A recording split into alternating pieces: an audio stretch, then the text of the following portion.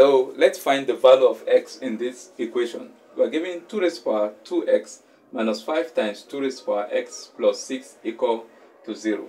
From our law of indices, 2 raised to power 2x can be expressed as 2 raised to power x bracket 2.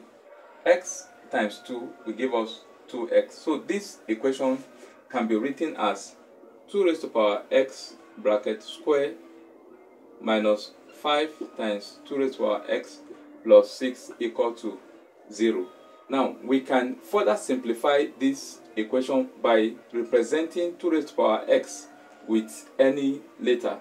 Let y be equal to 2 raised to power x. It implies anywhere we see 2 raised to power x, we can replace it with y. So this equation will now become y squared minus 5y plus 6 equal to 0.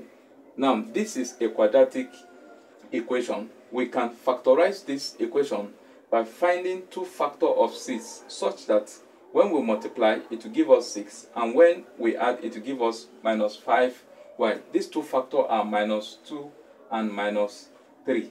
So this equation will become y minus 2 bracket y minus 3 equal to 0. This implies y minus 2 is equal to 0 or y minus 3 is equal to 0. When y minus 2 is equal to 0, our y will be equal to 2. That is, minus 2 will cross to become plus 2. Or when y minus 3 is equal to 0, our y will be equal to 3.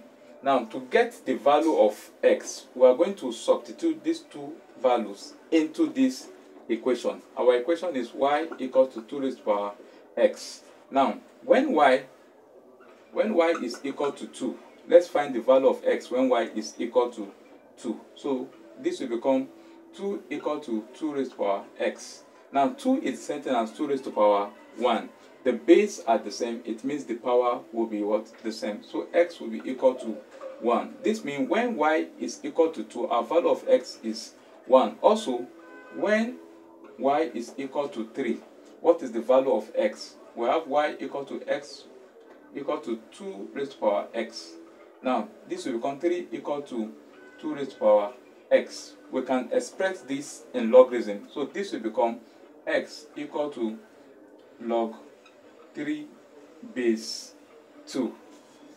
If you find this video useful, please kindly subscribe so that you will notify when I upload another video. Thank you.